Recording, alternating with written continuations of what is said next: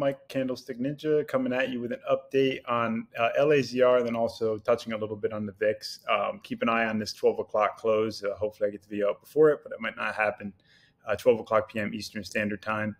Um, and then, if you notice, I want to show you real quickly um, a little summary that I put together, and I also, you know, based on today's open short interest number, um, and I had ChatGPT fine tune it for me. But basically, you know, I've noticed we've been hovering around, you know, 27%, 26, 27% of short interest relative to the float, and also between 50, 50% and 65%. Um, we're on the higher end here off exchange volume. Definitely a lot of shorting, but we've had a pretty big spike over the last week in the short interest ratio from between seven to nine days to 28.71 days, an indication of uh, much higher risk, as you can see here.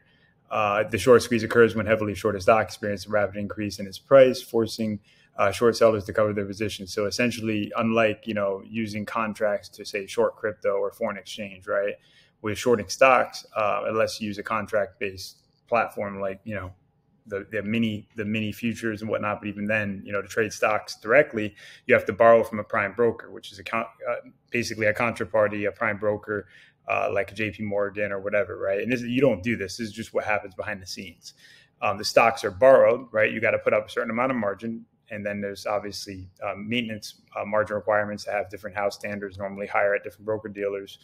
Um, and if you're shorting, you know, and you say you put up, you know, half the cash to short, you're borrowing the stock and um, from the broker, and then you're immediately selling it. Essentially, is what's happening. And then what happens is you hope the stock drops, and then you can buy it back cheaper, pay back um, your margin uh, collateral portion, right? And then any any interest because the prime the broker call rate right now on margin accounts is insane. I mean, with interest rates over, I think it's over ten percent the last time I checked.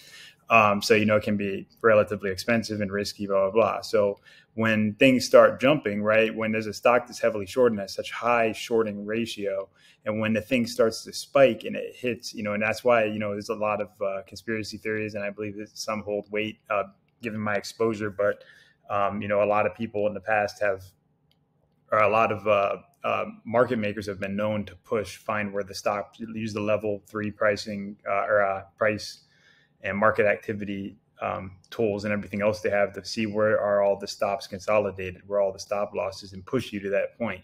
Um, but even just standard buying that causes a stock to jump based on it being way oversold, that can start triggering a combination of buy um, buy orders, which are uh, buy stops that are basically protections uh, on short positions, or collateral calls are essentially will force stocks to be sold, and then that also adds as buys to fuel the thing upwards. So as that's going, people then start to see the trend upwards and buy into it, thus pushing it further into the stop loss, and then it becomes a short squeeze and a perpetual uh, jump upwards.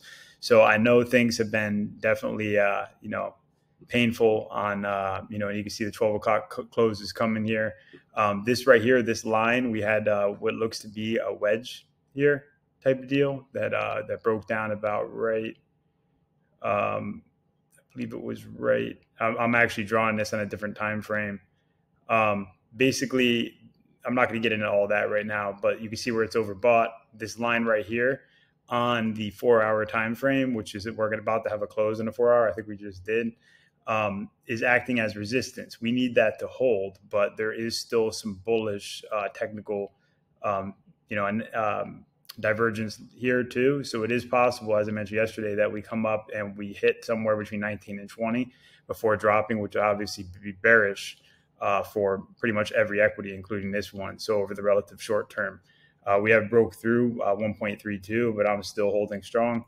Um, you know, it's it's always tough on the way uh, on the way up to, to really you know hold strong on something you have conviction with. But that's where we're at right now. We need this VIX to drop.